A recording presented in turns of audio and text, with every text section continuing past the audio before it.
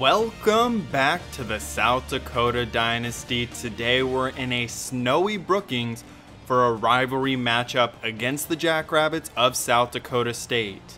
Last year's game was very close, year one's game was not, and we're hoping to play well today and get our first win in this series against our arch in-state rival. Last week we did win against Utah State it was a very exciting game. Utah State had over 300 yards of passing offense, but only under 100 yards of rushing offense. The quarterback today will be John Price. Both Connor Platt and Aaron Massey are hurt, so the third string true freshman former four-star quarterback will be getting the start. We know South Dakota State loves to run the football. We've seen Shaq Rivers. This will be the third time we've played against him. He has a big run here as it goes for 31. One thing to note, Marquise Hill, the backup, has received the majority of the carries. He's had over 29 more carries than Shaq Rivers had. Both of them have been very productive, and John Price adds a nice running element as well.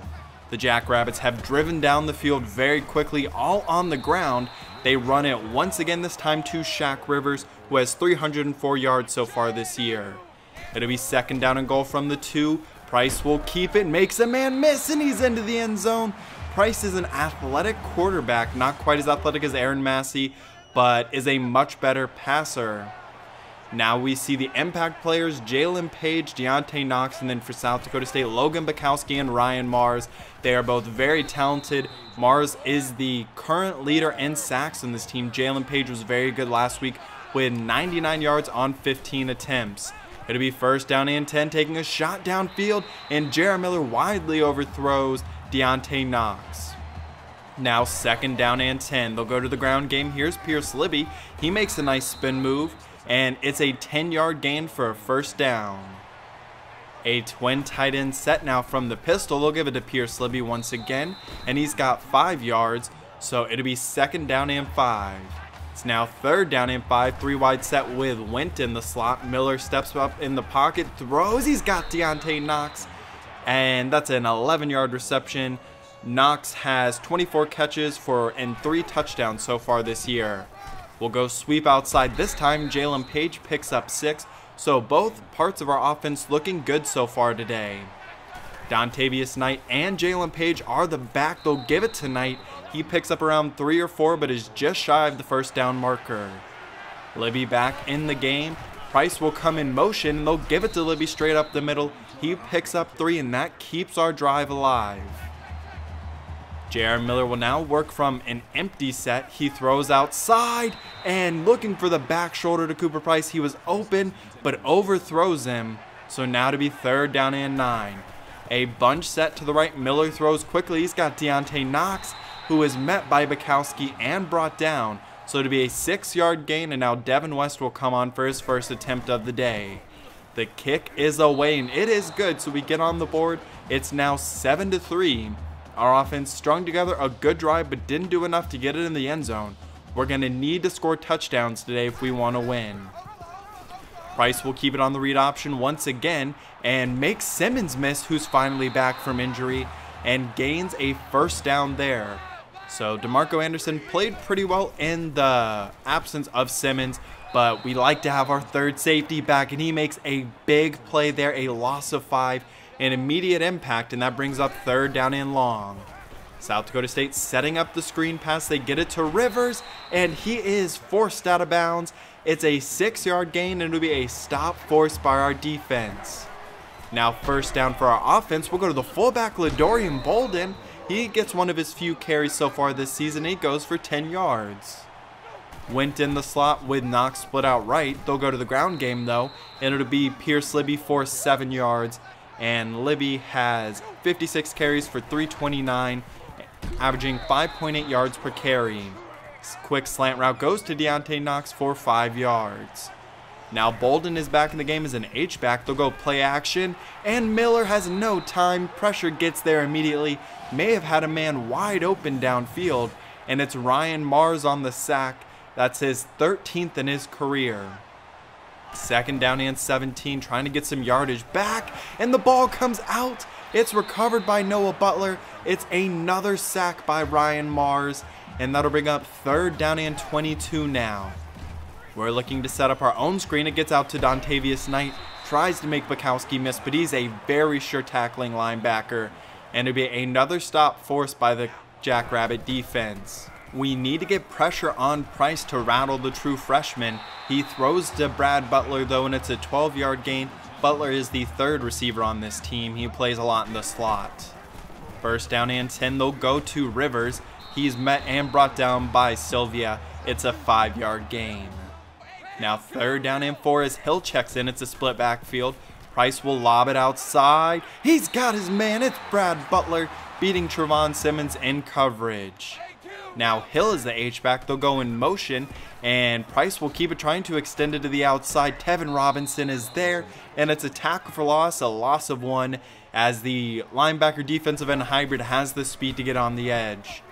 Now Price all day to throw. We only rush three. Throws outside. Butler does a good job of walling off Simmons, and it's a 14 yard gain. Now they'll bring Butler as the motion man, fake it to him, pitch it to Rivers, and he's into the open field. He gets into the end zone. Ladorian Bolden couldn't get there. Ladorian McCray, I should say. And it's a touchdown for South Dakota State as they extend their lead to 11. We'll go to the ground game to open this drive as Jalen Page is able to pick up 11 and a first down. He has four carries for 30 yards so far. A huge third down here. Quick throw looking for Cooper Price, and it is nowhere close. Jared Miller was a little erratic against Utah State and misses a big one there. It'll be a give on the draw play. Tevin Robinson on the tackle. It's a five yard pickup. Shaq Rivers almost at 100 yards already. A four wide set. Rivers is or Price is going to keep it this time, and it's Sylvia who brings him down along with Trevon Simmons, but that will move the sticks once more. A four wide set from the shotgun. Price will keep it once more. He breaks one tackle. Martels brings him down. It's a 10 yard gain for the true freshman, who, like I said in the beginning, he's a decent athlete, not as athletic as Aaron Massey, though. They will give it to Rivers, second down and inches. It is Ladorian McCray who meets him, but that continues the drive once again. See if our defense can get a stop here. Draw play for Rivers and a big tackle by Jackson Harvey. It's only a gain of six. He needed seven, but the offense will stay on the field. It's a pistol two tight end, two back look. They'll give it to Rivers. He's got three, and the fourth down conversion is successful a new H-back. It's the fullback as bringing a man in motion. Price will just keep it himself as he picks up three. His eighth carry, so he's been very active in the running game. They set up the screen pass. Here's Marquise Hill. He's an electric playmaker just like Shaq Rivers, but it won't be enough for the first. It's Bukowski who brings them down, but once then, they're gonna go for it. It is Hill on the carry. He finds a hole Kendrick is too late getting there, and South Dakota State has another touchdown. It's now an 18 point lead. South Dakota State got up big last year, but we weren't able to come back. Let's see if that holds true once again. Taking a shot downfield, it's Washburn in coverage, and it's a stop forced by South Dakota State, a quick three and out. They have a chance now to extend their lead. Price is hit as he throws, though it falls incomplete for his first incompletion. It was the big nose tackle Martels in there. On second down, they'll go screen pass to Hill. He's met, brought down, as South Dakota State will use their second timeout. They'll spread the field with four wide. We'll bring four. They set up another screen pass. Here is Hill, and he is hit down hard by one of the, as one of the subscribers said, one of the safeties which I really like that with Ross Bukowski and Eric Zakowski. But it's 21 to 3 as we head into halftime. This will be a big upcoming start to the second half. We need this game to stay competitive, especially we can't allow any more points early in this second half to South Dakota State. They've run the ball very well, made some big passing plays, and our offense hasn't really been able to get much going so far. A positive, though, is we do start the second half with the ball, so we have a chance to cut this to a two-score lead with a touchdown here. It'll be Jalen Page who checks in now on second down. And Dontavius Knight is the Wildcat quarterback. He finds some room to run down the sideline inside of Jackrabbit territory. A big gain. He is an electric playmaker as a redshirt freshman. I can't wait to see him as a junior and senior. Now it's Jalen Page trying to find some room to run. He picks up six, but is stopped shy. So to be fourth down and one, offense is going to stay on the field. We need a touchdown here. And it's LaDorian Bolden once again this time for six yards, and the drive will continue. A huge play there. First down and 10. Miller will throw. He takes a shot. He's got a wide open man. It's Cordell Hicks for the touchdown. As Hicks has made big play after big play this year, he's by far been our best receiver. Now let's see what our defense can do. As it's Price on the keeper, he picks up 10 yards. Last week we did have back-to-back drives with pick sixes. This would be an opportune time for something like that. Instead, it's Price streaking down the field. He's brought down at around the 35 yard line, but there is a flag down and it's clipping called on South Dakota State, so that will back him up. It's still a first down, but it's not quite big of a gain. It was Isaac Jackson on the penalty. They'll fake it to Jackson now and lob it downfield, and Brad Butler goes up between three or four defenders and gets the catch. Four for 77 so far. He was not the one I was worried about. They have Daryl Patton and Eric McCutcheon, but it's been Brad Butler. There's a big tackle for loss by Trevon Simmons, though his second on the day. Price will throw. He's got his tight end. It's Cameron Smith who does not get enough. It'll be fourth down and three, and the field goal unit will come on the field this time. Martin kicks it, and it is good by a mile. That may have been good for him around 55 or 60. Still a two-score game as South Dakota State has a 14-point lead. Pierce Libby opens this drive with a great gun straight up the middle. Now Miller will throw. He's got it's Cordell Hicks again. He's into the open field, streaking forward, brought down to the 10 yard line, a 47 yard catch, 6 for 12 start for J.R. Miller, but two huge plays to Cordell Hicks. Now it's Pierce Libby on the sweep outside. He cuts it back up the middle and picks up 7 yards. It'll be second down and goal from around the 2 or 3. They'll go power. It's Page who is stopped shy of the goal line and it'll be third down and goal from the inches line.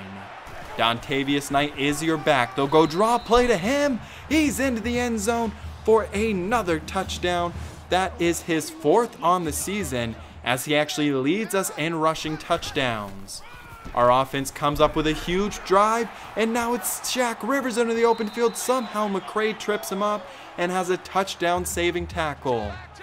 South Dakota State really liking this really tight pistol power formation with two backs and two tight ends.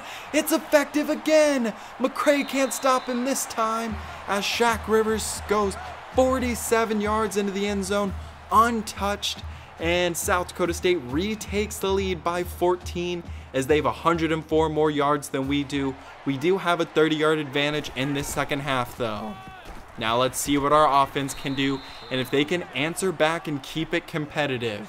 It's a seven yard gain. It'll be third down and three. Too high. They give it to Libby, who picks up four yards, and that's another crucial first down.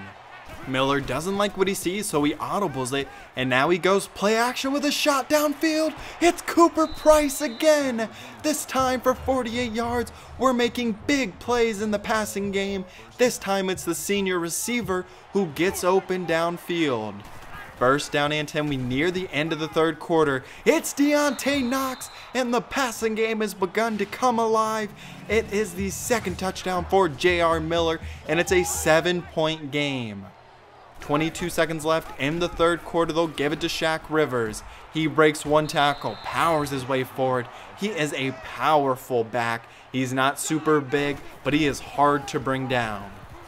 They'll stick with the senior running back and it's a nine yard gain as we have maybe one play left in this third quarter. Blitzing everyone, Price will keep it. He still finds a hole, and he's inside of Coyote territory, a 24 yard gain. So now we'll head into the fourth quarter down by seven. South Dakota State has a drive going with a chance to extend it once again to two scores. They'll go pistol full house, fake it to Hill. Price is going to keep it. He gets a block. He keeps going. Zakowski can't bring him down on first contact, and it's a 23 yard gain. This is a chance for our defense to come up with a red zone stop. Price has room, and Simmons is too late. It's a 13 yard touchdown for the Jackrabbits, and it's back to a two score game with a, a lot of time left, though. Now it's Jalen Page into the open field, as our running game has also been very effective. Both offenses, to some extent, have been pretty unstoppable in this second half. Throw to Tate Wagner. He hangs on to that one and has it for 13 yards. He only has around five catches so far this year. Miller will go play action, quick throw outside. He's got Hicks who steps out of bounds, but it's still a 20 yard gain, and we're inside of Coyote territory at around the 23. Pitch goes to Page. He tries to get outside. He'll get the edge, but not all the way. He has 10 yards, 12 for 69, so a very nice game from him. Now they'll go back to Pierce Libby. He picks up 11. We're rotating a lot of backs in, and it's been very effective. Gilbert is the motion man. They'll give it to Libby, and it's a quick score and a great offensive drive by the Coyotes. It's back to a seven point ball game, and we still have just under six minutes left, as that was Pierce Libby's 11th career rushing touchdown. Price will keep it once more. I didn't expect him to run as much as he has, but he's 103 rushing yards on 14 attempts. Price will keep it once again. He's got room to run again, and he's brought down to the 49 yard line. As South Dakota State is over 300 yards rushing, our Achilles heel is really shown when we play them and North Dakota State. They both love to run the football. Rivers is hit down hard by Jackson Harvey, and it's a loss of one. Let's see if our defense has a stop in them. It's third and 11. They give it to Rivers on the screen. He's brought down. It's a gain of eight, but not enough. And South Dakota State will punt it away. So with 3.51 left, we have a chance to tie this ball game up with a touchdown on this drive. It's a four wide set with Hicks in the slot. They throw the check down to Knight. He tries to make a man miss, for as effective as he's been, he hasn't really made many men miss so far this year. Nonetheless, it is still a first down. Quick throw it goes to Dion Gilbert. This is a 14 yard gain, and our offense is still clicking. Twin tight end to the left, they'll give it to Libby. He heads that way. He makes a man miss. He's into the open field, one man to beat, and Washburn is able to bring him down, but it's a 32 yard gain, and we have it at the 11 yard line. They'll fake it tonight. And now Miller inside the five, brought down to the two. It's an eight yard gain. We are knocking on the door here. And we'll go under center I formation goal line set. Pitch outside. The defender can't get him. And Jalen Page is into the touchdown. He's got it. And with an extra point, we have tied this game up at 38. It's first down and 10. Price is hit as he throws. The pass will fall incomplete and it'll be second down and 10. Only a minute 21 left. Right now, we're looking at overtime. It's a big play by Pedro Martels. He diagnosed the slip screen perfectly. We'll use our first timeout. Now third down and 16. Draw play to Rivers. He's hit, brought down, nowhere to go. And we'll use another timeout. So we got a minute four to work with from midfield. All we need is a field goal. Here's Cooper Price. He is with the catch. He's got 10 yards. It'll be second down and inches. 42 seconds left. Miller dumps it down. He's got Dontavius Knight. He's brought down to the 28. It's a 10 yard gain, and South Dakota will use their final timeout. So they have no way to stop the clock outside of spiking the ball. Miller throws. He's got Went inside of the five. He's brought down to the two. And we're knocking on the door once again. 25 seconds left. They're going to run it. It's Libby he's met and will lose two yards. So it's second down and goal from the four. They'll go up tempo trying to get another shot into the end zone. And the clock continues to run. We have no way to stop it. They'll run it outside, and Libby stopped again. And now the clock will continue to run, and it will hit triple zeros, and we will head into overtime as that is just horrendous clock management by Christian Vaughn using his timeout too early, trying to go up tempo, should have just kicked the field goal. It's a four yard gain now. We're in overtime, second down and six. Here's Knight. He picks up around five or six yards, and it'll be third down and one. A shotgun set as Miller is met. Perfect option, scrape defense by Bukowski, his fourth tackle for loss, and now Devin West is on for the field goal attempt. His kick is straight down the middle, so if South Dakota State gets a touchdown here, they will win. But if we're able to come up with a stop, the game will be over. First down and 10, an empty set for Price. He has all day to throw, throws outside. He's got the running back who runs the route for 13 yards. Now they will go up tempo in overtime as Price will throw. He has all day once again. Great block and great pickup. It's caught Daryl Patton. A 12 yard touchdown. And South Dakota State will win.